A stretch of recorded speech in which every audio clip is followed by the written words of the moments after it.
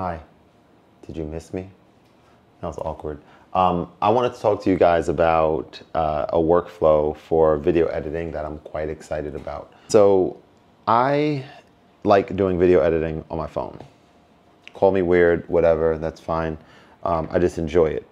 Sometimes, however, when I'm in this sort of setup where I have my phone and I have my laptop, my MacBook, I would like the ability to be able to leverage the real estate on the screen. And what I was previously doing, and I'm still exploring this, but there I can get LumaFusion on Mac and it works really well and I have an overlay and it's it's good, it's fine, it's it works, it's it's sufficient.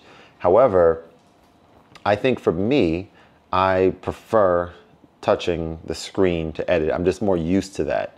And so, you know, I have my iPad. That's one area. I don't always have this with me, however, but I've grown to like understand that when I'm just chilling or just anywhere, sometimes I like being able to video edit on here, like from wherever, like at any moment where I feel inspired to do so.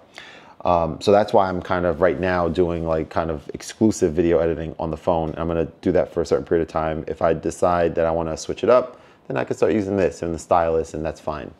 But the purpose of today's video is to show you this. So you don't need LumaFusion open in order to do this. But if I go into this app here and I have a, video that I'm actually gonna start editing uh, right now. So I'm gonna like just do a new project. I never name my projects probably not good practice, but whatever. That's what works for me. I don't have time to think about typing, and it's just, you know, I'm just always rushing through things, I guess, for better or for worse.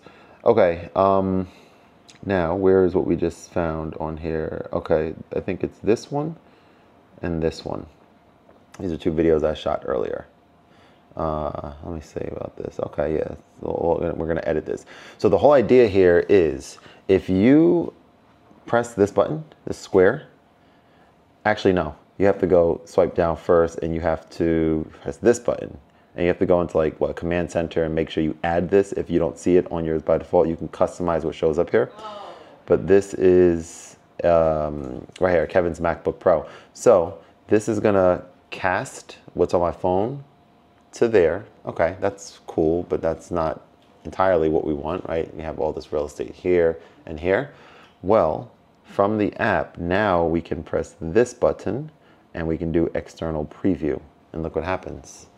External preview gives you a preview of what's what you're editing. Hey, how's it going, guys? So, so there's, I just there's two things about this. One is the audio now is coming out of the computer, which is and it's no latency at all or minimal, not detectable, which is awesome.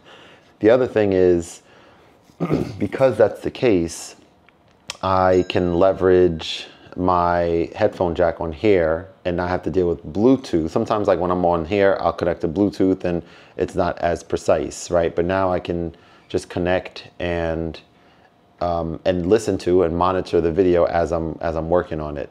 And it's uh, it works really, really well. So yeah, I just wanted to share this. Um, I, I, I was testing out um, what is it called? DaVinci Resolve on here and Final Cut Pro.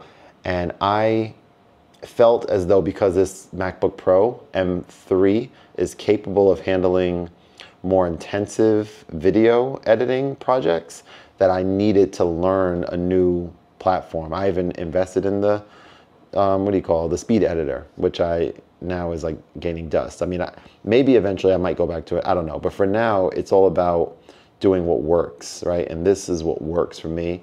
And it feels good to be kind of going back to the tried and true um, uh, platform that just you know feels right. So that, my friends, is the end of today's video. And I'll see you later. Have a good one. Peace.